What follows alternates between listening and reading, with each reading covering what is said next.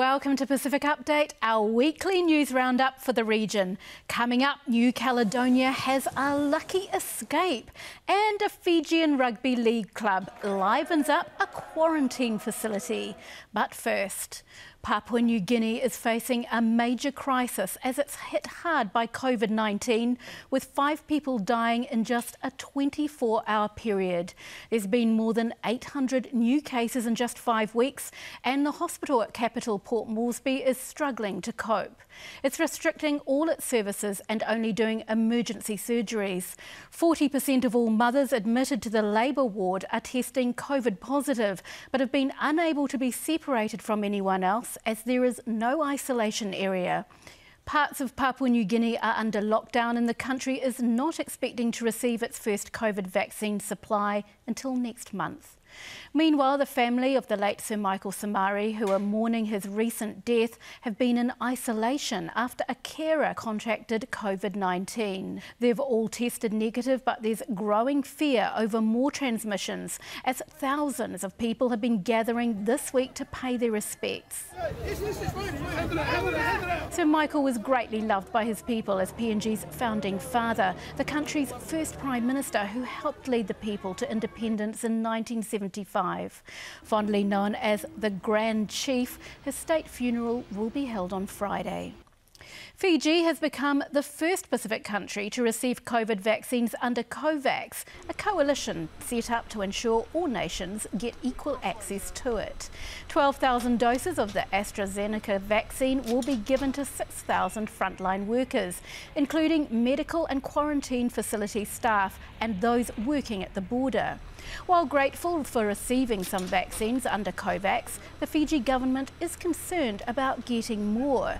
It's already working on bilateral agreements with other countries and organisations and is prepared to pay for it. Fiji is not a big country, yet we are only guaranteed enough vaccines for 20% of our population through COVAX. Other Pacific countries affiliated with France or the US are well into their vaccine rollout.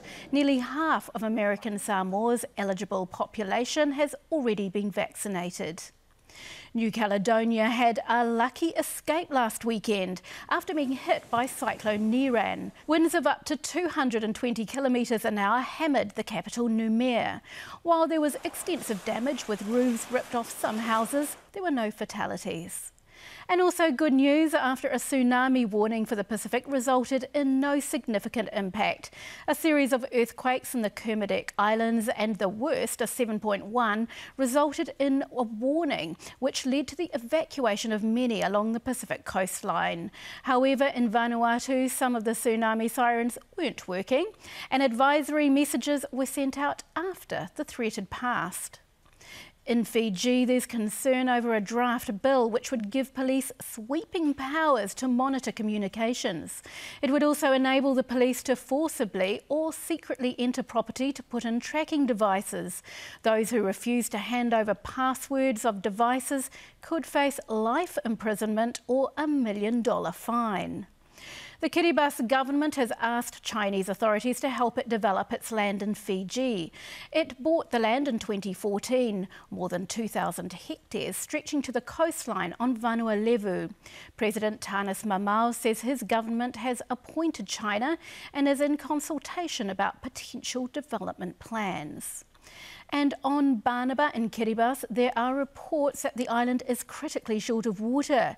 There's been pleas for help on social media as there's been a drought in the area for three months and water tanks are empty. The desalination unit is apparently broken. The only way to and from Banaba is by sea.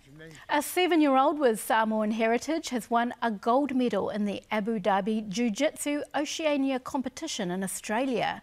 Hafer Lynch won her first ever gold at the competition, the second biggest in the world. She's now eligible to compete in the Junior World Championships. And still in Australia, check out this Fijian league team singing their hearts out in a quarantine hotel in Sydney.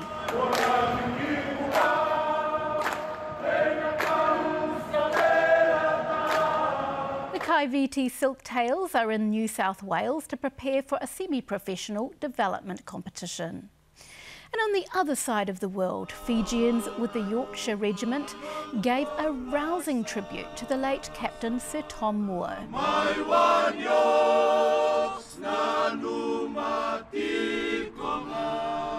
The former British Army officer became an inspiration for many during COVID after he walked a hundred lengths of his garden in the lead up to his 100th birthday. All money he raised went to charity. These Fijians from his former unit keen to show their respect. Now to our social media vids of the week. It doesn't matter how old you are, everyone loves a good slide. And what better than using nature as a playground? Just make sure nature doesn't use you. and talking of nature's playground, jet skis can be a lot of fun in the ocean, but maybe best to watch the weight allowance. Everything has its limit. And this is the moment this limit was reached. String band practice can be difficult at the best of times. Just be careful not to be caught with your pants down. At Te Rarotonga's Punanga Nui market, there's always a good bit of music to be had and dancing to go with it. And here we have Mr. Smooth, Danny Kelly. It's always good to win a good challenge. This one, Girl versus Seagull. And the winner is the Seagull. Oh, right. Okay? Well, that's it for another week. Stay safe, and I'll be back next Thursday with another Pacific update.